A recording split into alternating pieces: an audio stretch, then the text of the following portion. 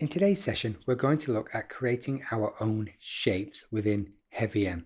So I've got a project open here, and um, if you look across to the blue icons here, we can draw. So I'm just going to click there, I'm going to pull down and pull across, and that creates a shape for me. Just click that to get rid of that, and that's a shape.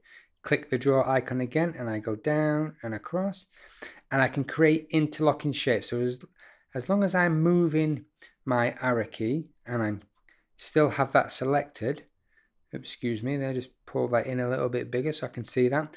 And as soon as I have that selected, you'll notice that I can create really interesting geometric shapes. So I'm moving this up and down like this and watch what happens. It cuts out the negative space. So get rid of that.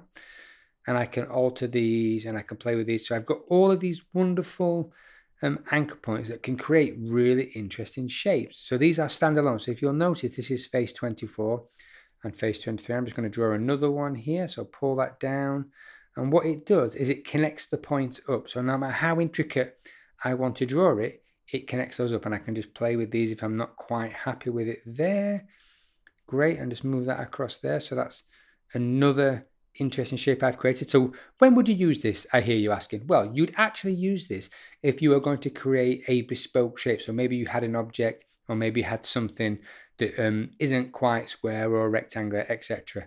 So I'm just going to pull that across here and create that into a split screen so you can see it. And there we go. I've added some animation and that's my bespoke shape. And you'll notice it looks really good really quickly. So guys, have a go, play with your own shapes, see what you can come up with. Please do send them me because obviously I would love to see them.